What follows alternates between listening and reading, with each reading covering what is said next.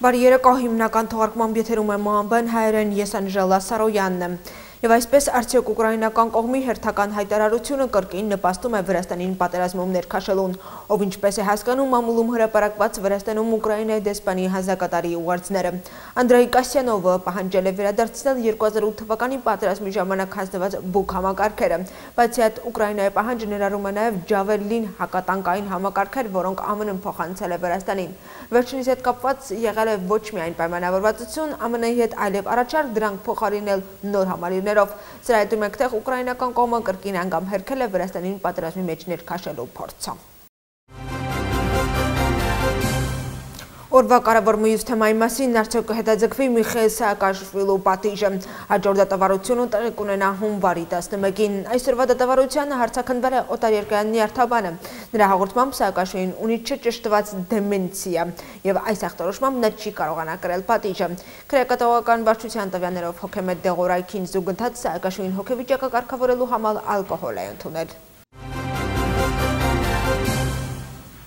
Ընդդիմությունը մատնանշում է նախկին նախագահի առողջական ցաներ վիճակը։ Նրանց հայտարարությունների համաձայն անհրաժեշտ է Սաակաշվիլին տեղափոխել արտերկիր։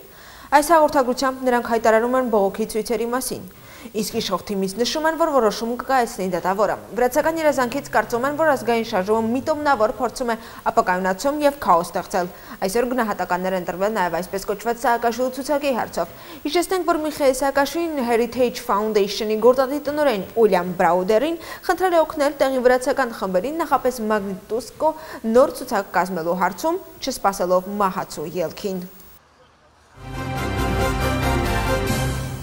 Վրաստանը դիմում է համաշխարհային բանկին Սևծովի ստորջրյա էլեկտրահաղորդման գծի նախագծի տեխնիկատնտեսական հիմնավորման համար։ 75 միլիոն դոլարի վերաբերյալ նախնական պայմանավորվածությունն արդեն ձեռք է բերվել։ Հարցի շուրջ խոսվել է կառավարության այսօրվա նիստում։ Երկրի նախաձեռնությամբ արդեն սկսվել է նախագծի վրա աշխատանքները, որը ենթադրում է Կովկասյան տարածաշրջանի եւ Եվրոպայի էներգետիկ կապը Սևծովում բարձրավոլ ստորջրյա հաղորդման գծի միջոցով։ Մասնավորապես Սևծովի հատակով անցնող էլեկտրահաղորդման գիծը կմիացնի Վրաստանի եւ Ռումինիայի էներգահամակարգերը։ Հիշեցնենք, որ Վրաստանը, Ադրբեջանը, Ռումինիան եւ Հունգարիան նախորդ տարվա դեկտեմբերի 17-ին ստորագրել են Սևծով էլեկտրաէներգիա փոխանցող ստորջրյա մալուխի նախագծի մասին փաստաթուղթը։ Իսկ Ուկրաինայում պատերազմը շարունակվում է։ Ռուսաստանը ռմբակոծել է Խարկովի շրջանի մթերային շուկան։ Արդյունքում զոհվել է 1 մարդ, իսկ վիրավորվել մի քանիսը։ Ուկրաինայի նախագահի գրասենյակի ղեկավարությունը հայտնում է, որ ավիահարվածը տեղի է ունեցել S-300 տիպի հերթիներով։ Գլխավոր շտաբի տվյալներով երկրի բանակը Դոնբասում 13 բնակավայրերի մոտ կանխել է բռնազավթիչների գրոհները։ Նախորդ մեկ օրվա ընթացքում ռուս զինծառայողները 7 հրթիռ եւ 31 օթային հարված են հասցրել ու 70-ները կանգամ կրակ բացել Սալվո հրթիռային համակարգերից։ Նովոպավլովսկի, Զապորոժեի և Խերսոնի ուղություններով ռուս զինվորականները պաշտպանում են նախկինում գրավված գծերը և արդիականացնում դիրքերի ինժիներական տեխնիկան։ Ուկրաինայի զինված ուժերը խոցել են հակառակորդի 3 ուղաթիռ եւ նույնքան հետախուզական անընդհաճ թռչող սարք։ Զուգընթաց ռուս զինծառայողները հարձակում են իրականացրել Բախմուտի, Ավդեևկայի եւ Լիմանի ուղություններով։ Նրանք նաեւ փորձում են բարելավել իրենց մարտավարական դիրքերը Կուպյանսկի ուղությամբ։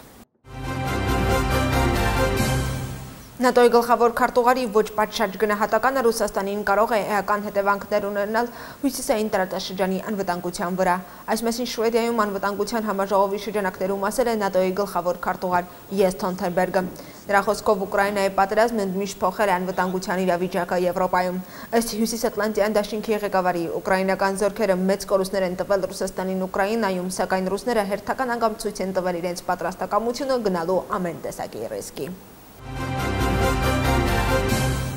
Ամերիկայի նախագահն այցելել է Մեքսիկա։ Ջո Բայդենին օթարավակայնում դիմավորել է հյուրընկալող երկրի նախագահը։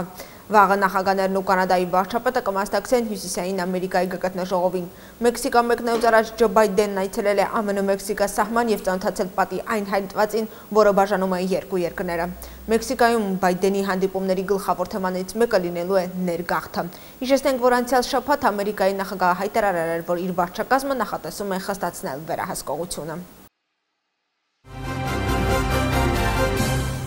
Հայաստանի Գյումրի քաղաքում տեղակայված ռուսական ռազմաբազայի մոտ բողոքի ցույց է տեղի ունեցել։ Տեղական լրատվամիջոցների փոխանցմամբ ազգային ժողովրդավարական բևեռ քաղաքական ուժի կազմակերպած հավաքին ոստիկանությունը մի քանի հոգու բերման է ենթարկել։ Հանրահավաքի մասնակիցների եւ զինված ուժերի արճակատումը սկսվել է այն բանից հետո, երբ ցուցարանները մոտեցել են 102-րդ ռուսական ռազմաբազային։ Ցույցի կազմակերպիչները հայտարարել են, որ Լաչինի միջանցքի շուրջ 28 օր փակված իրավիճակի պատճառով նախատեսում են փակել 102-րդ բազայի մուտքերը։ Ցուցարանները ռուս զինված զինվորականներից պահանջել են կատարել իրենց պարտավորությունները եւ բացել Լաչինի միջանցքը։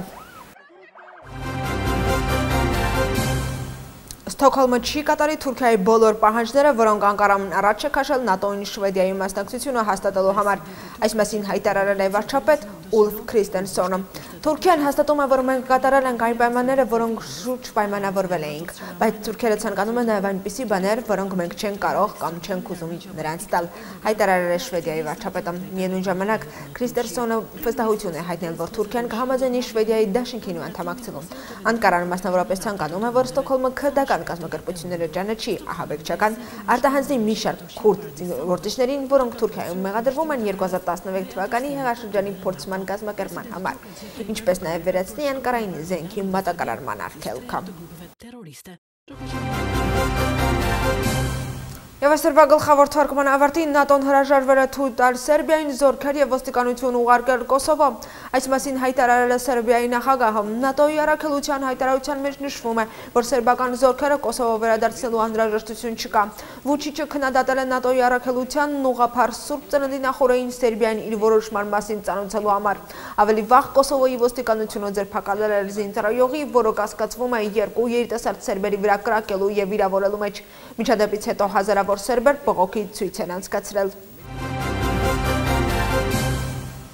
Այսօրվա գլխավոր թողարկումն այսպեսին ներ շնորհակալություն ուշադրության համար եղեք առողջ աշխարհին ալ խաղաղություն միմյանց հետ կհանդիպենք վաղը